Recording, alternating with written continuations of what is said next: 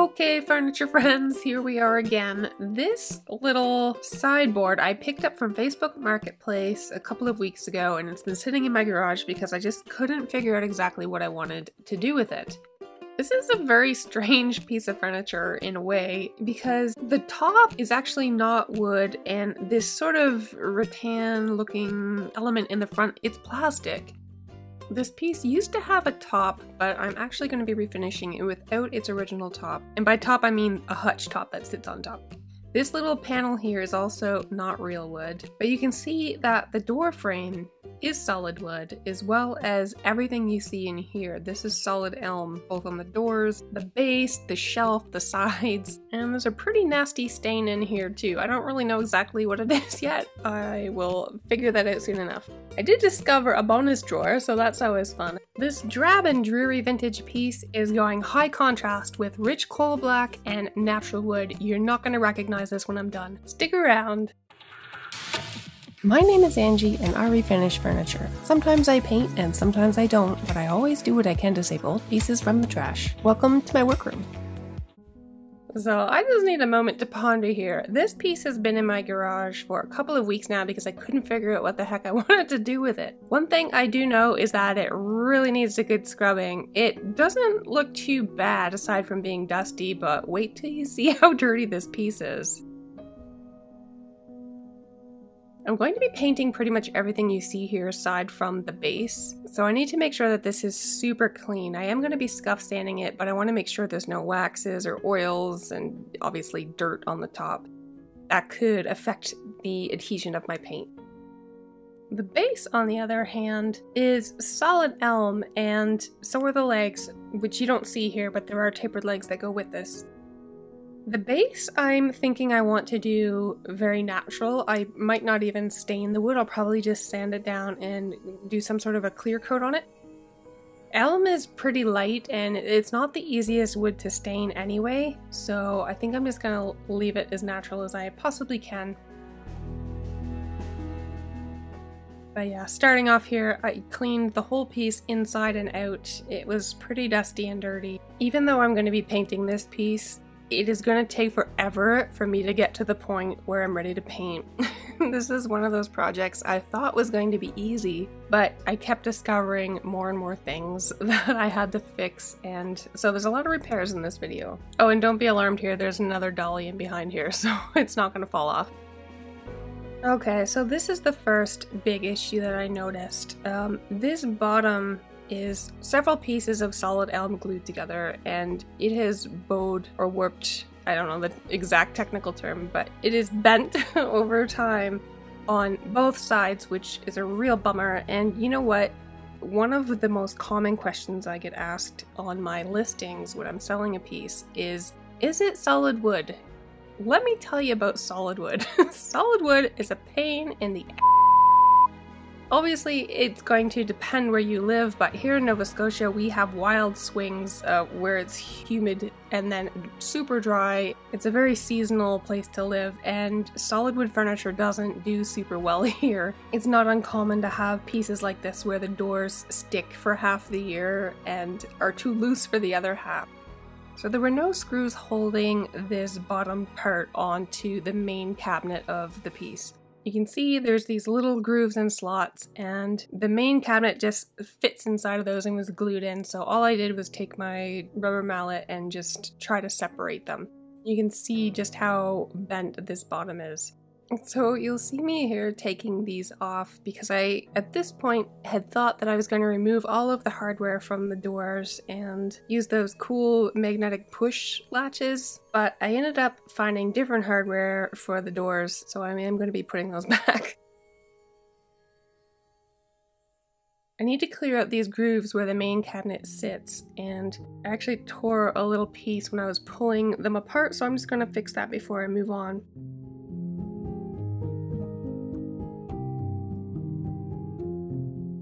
But when I go to reattach this, I have to make sure that all of the original dried glue is out of there. So I'll be using a heat gun to try to soften it enough to scrape it all off.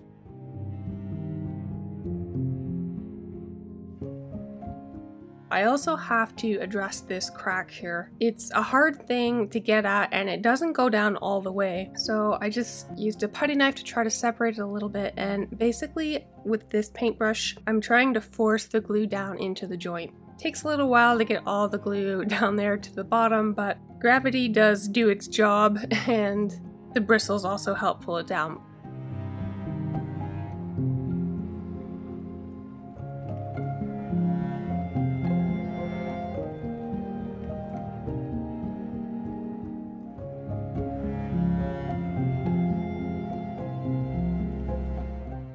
There's also another trick that I like to use, and that's using dental floss. Just plain old dental floss. Using the floss is really helpful in situations like this where the opening is quite small. So you basically just work it around, you can pull glue down into the joint, and really what you're trying to do is coat both sides of the opening here so that when you clamp it together, you have a good bond. A glue syringe can work. It's a little tight even for a glue syringe here, so that's why I'm choosing to use the floss.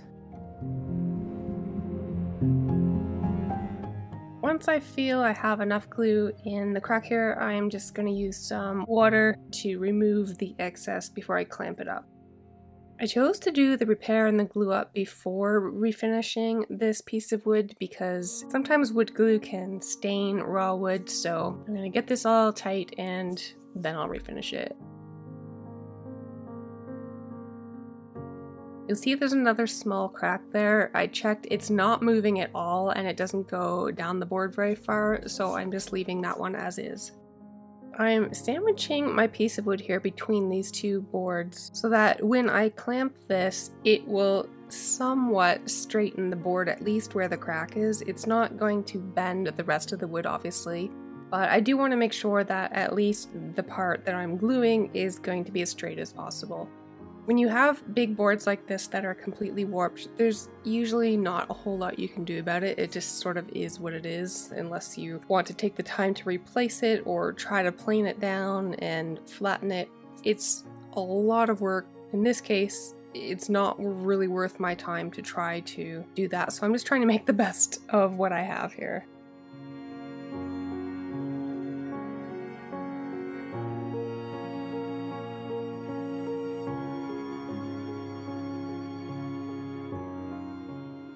As I mentioned before, I'm using my heat gun here on the lowest setting to try to soften some of the glue that is in these little openings where the cabinet fits inside, and that's how the piece comes together. I have to get all of this dried glue out so that when I put the new glue in, it has a good bond and the piece is going to be nice and solid and tight. Wood glue only sticks to wood fibers, so if I were to just put new glue on top of this old glue and then put the piece of wood in is just not gonna be as strong as I need this to be. Because this big slab here is solid wood, I decided I would just go ahead and try to sand it. I started off with an 80 grit, which is fairly coarse. I don't use 80 very often. And as you can see, it's working, but I was having a heck of a time. And I got about maybe two minutes in and said, screw this, I'm gonna go get the stripper and you'll see how much faster this is. I absolutely could have spent an hour sanding this top and gone through probably four or five sanding discs trying to get this old cruddy finish off, or I can take maybe seven or eight minutes, save the sanding pads, and just scrape this finish away.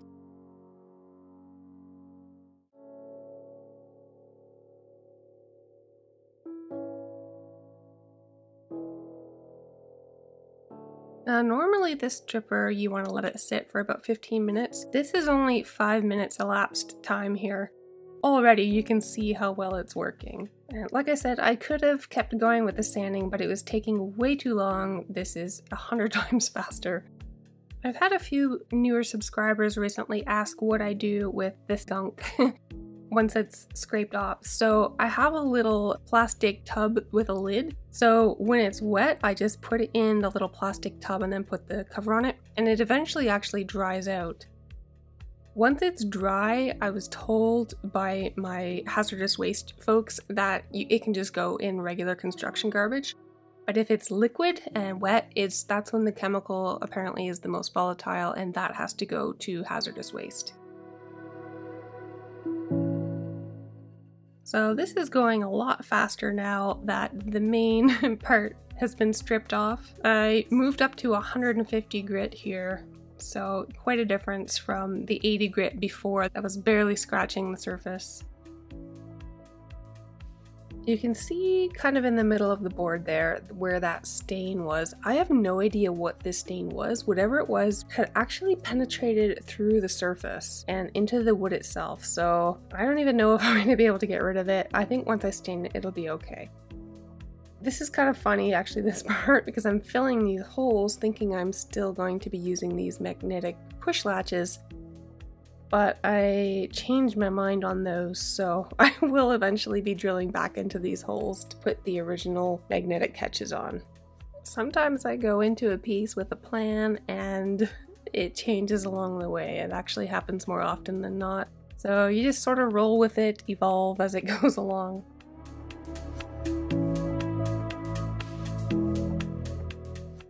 I'm just sanding that dark brown finish off the legs. The legs are also solid elm.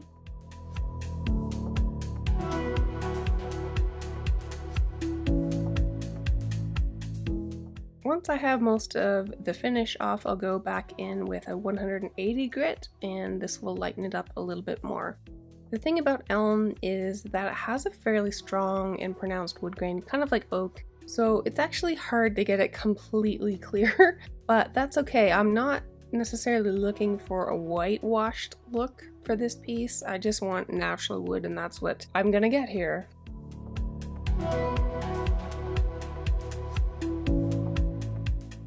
One thing I'd like to do with these tapered legs, and you can kind of see the brown around the bottom there, is I just put a little bit of an angled edge on it and this helps keep the bottom of the feet from catching on things and splintering and splitting. I'll often do it along super sharp edges as well.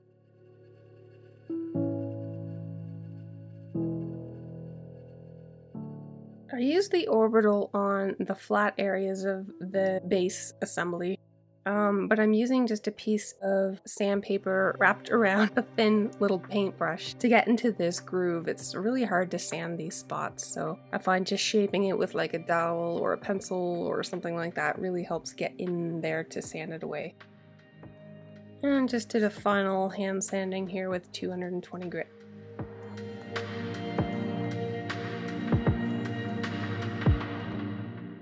So it's time now to go back in and finish sanding the base. If you recall, I initially sanded with 150 and this I believe is a 180 and then I'm going to go up to 220 and that's where I'm going to stop.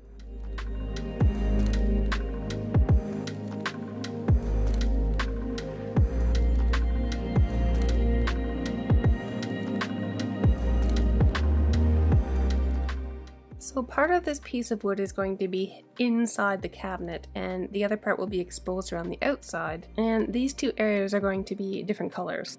So I want to make a line here so that I can stain the part for the inside with a darker stain and the outside you'll see will be almost a clear coat. So I'm just using the painter's tape here to line up against the edge where it starts to curve over and I will start staining on the other side of that tape. I'm actually going to be using a water-based stain for this. Elm isn't always the easiest to stain. I find it just doesn't accept stain very well. And this particular water-based stain I find just sort of penetrates a little bit better than some of the gel stains, which tend to wipe right off. I did water it down slightly, and it will be a slightly different color than the rest of the inside of the cabinet. It's going to be a little bit cooler and probably a little bit lighter, but I'm okay with that. The very first time I tried this exact same product, I hated it. I was so used to the oil-based stains that this water-based stuff was just too weird and it was so opaque and I just, I didn't like it at all. But I tried it again with a little bit of water mixed in just to dilute it slightly and oh my gosh, so much better. It has a tendency to raise the grain, so ideally you would pop the grain beforehand with a little bit of water, light hand sanding, and then go ahead with your water-based stain. But it does have some advantages. It dries really quickly, you're ready for your top coat way faster than an oil-based stain, and it doesn't leave lap marks. So normally when you stop halfway through a board like this with an oil-based stain, and then you come back into the other side, you'll often have a mark where those two lines overlap. With this stuff, when it goes over your lap marks, it reactivates the stain that's already there and you get a perfectly smooth finish. I love it. I probably should have taped the sides too, but I didn't think I would get very much on my wood, but I did, so I'm just sanding it back off again. And there we go. If you've seen any of my other videos, you know that I'm a huge fan of Odie's oil. This is a newer product to me. Um, this is Odie's Super Duper oil. It's a little bit runnier than the universal oil that I normally use. Um, and I also have this pigment I've never used the pigments, this is my first time doing it, mixing it up. I know roughly what the ratio should be, but I don't know yet how it's going to react on different woods.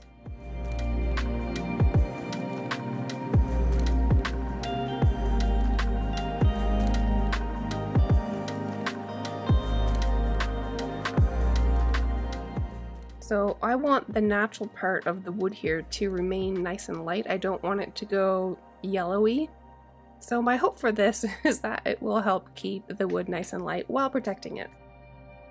The Odie's Super Duper Everlasting Oil is similar to the Odie's Universal Oil that you've seen me use many times. It can be used by itself or it can be used in conjunction with other Odie's products like the Universal Oil or the wax or the butter. It has a little bit less luster or sheen than the universal oil, but it's applied exactly the same way and it gives the same amount of protection. Uh, I didn't really notice a huge difference in the color here using the pigments. It could be that I didn't mix it strong enough. It could be that it just doesn't show up very well on this lighter wood. Like I said, it was the first time using it, so I'll continue to experiment and tweak it. Now obviously I'm using the untinted oil now on the stained part. I've had a few people ask me if Odie's can be used over paint and over stained wood, and you've seen me use it on stained wood a few times.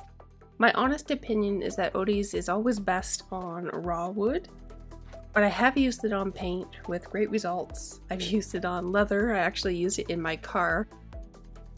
You can use it on concrete and it's great for metal and as long as the stain has completely dried, you can use it over stain as well. But again, I just, I feel like it's just that much better when it's on raw wood by itself.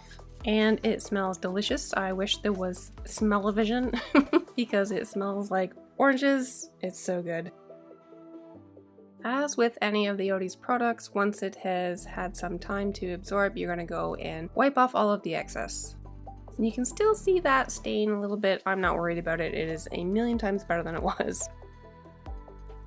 So this is now ready to have the cabinet put back on. So what I'm doing is I'm putting glue in all of these slots. There are no screws to hold this whole bottom section to the main part of the cabinet. It's all from these grooves and glue. So I wanted to make sure the glue was good. Like I said, there's no way I can completely fix these warped boards, but my hope is that if I get them in and glue them strong and I had fixed that one section which is now straight, while I don't expect it to be perfect, I don't really expect there to be any long-term issues with this piece. I mean, it's come this far and it's still standing and still functional.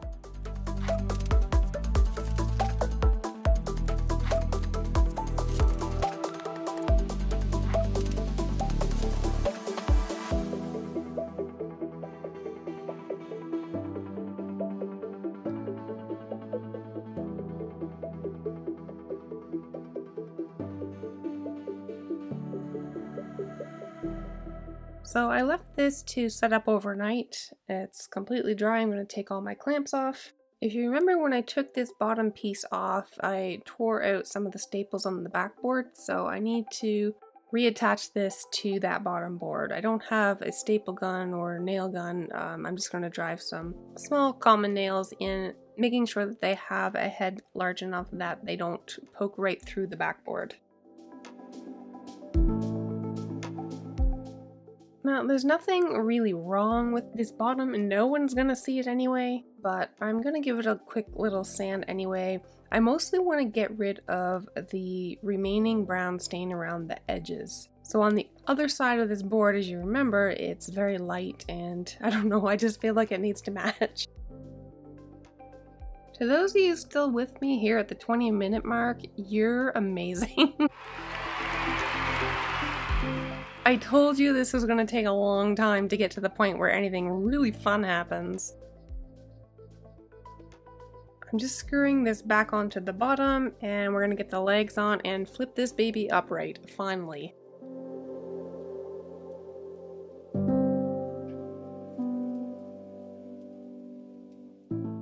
These are the pieces that people look at the end result and they think, oh, that must have been so fast and so easy. But they don't know that it took a day and a half just to get to the point where you were able to paint it. so this is kind of cool. I actually received this set of furniture felt pads from my Amazon wishlist from Dawn. So thank you so much for these, Dawn. I go through a ton of them. They're super handy to have on hand. Okay, let's get this piece up on its legs. Having multiple dollies in different sizes is super handy when you're doing this by yourself. Okay, so here's where we're at. The base is done. I need to have a look at some hardware. You know me, I love reusing vintage hardware when I can, but this piece just needs something a little bit more modern. So I buy hardware on sale everywhere I see it. I hoard it in a way, and I want to do something either brass or gold, something with a bit of a mid century vibe to it. And I think these are just the thing. I'm going to have to plug the two original holes and make a new middle hole for this pole, but I think this is going to be great. Might do it vertical, I could do it horizontal, probably horizontal, but I have options. First I need to mark where I'm going to drill my new holes. I'm basically just going right in the center of what's already there, and using a 3 16th bit, I'm going to drill my new hole.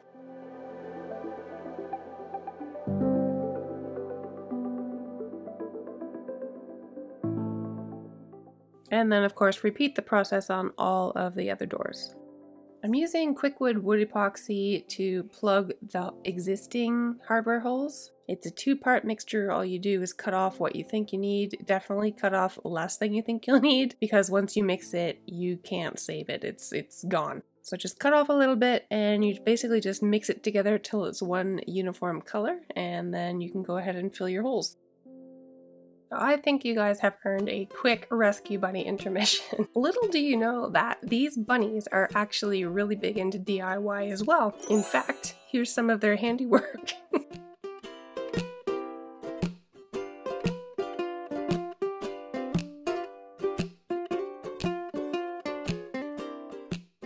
okay, now back to work for me and filling holes. I'm gonna let these harden up for a while and use a little bit of spackle over top just to make sure it's nice and smooth.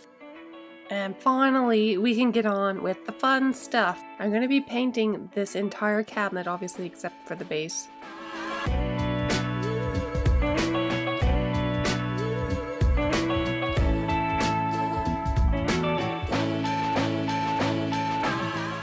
I don't need to remove the entire surface or finish. All I really need to do is give my paint a little bit of something to stick to.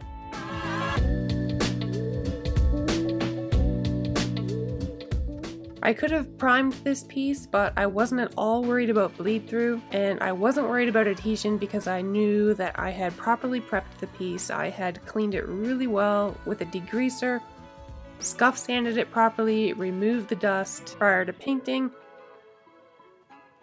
I am all about more thin coats rather than fewer thick coats when it comes to painting. The thinner your coats are, the more they're going to adhere, and I don't usually have issues with adhesion at all.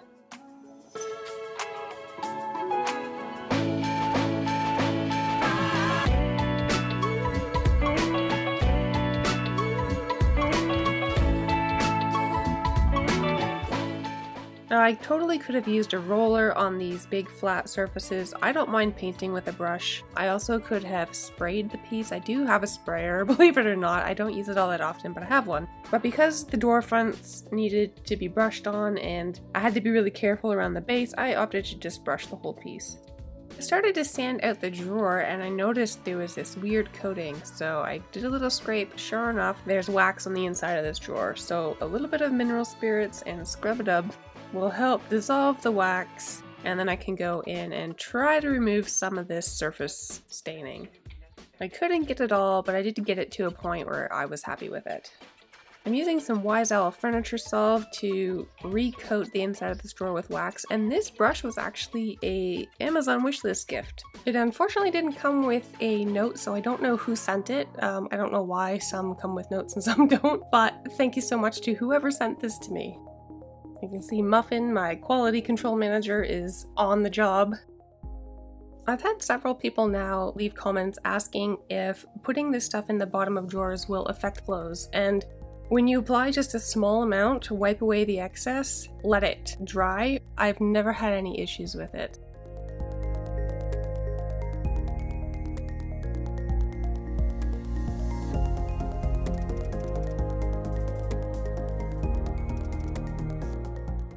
The front of this drawer will be hidden inside the piece, so I'm not too worried about it. All I'm doing is using a little bit of mineral spirits and some superfine steel wool just to kind of buff it off, and then I'll add a little bit of the furniture salve as well, and it'll be good as new.